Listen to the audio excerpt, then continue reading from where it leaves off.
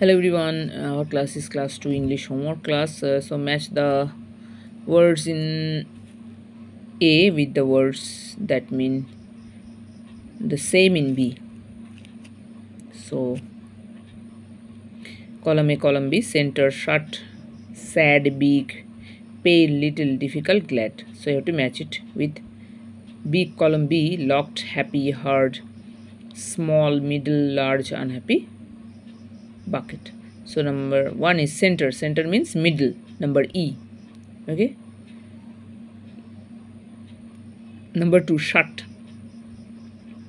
Shut means locked. Number three sad.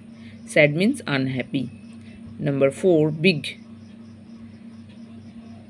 Is large. Okay? Number four is large f. Number five pail. Pail means bucket Number 6. Little.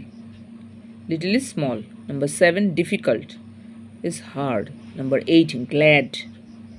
Happy. Okay. So you have to read, write and by heart it. Thank you.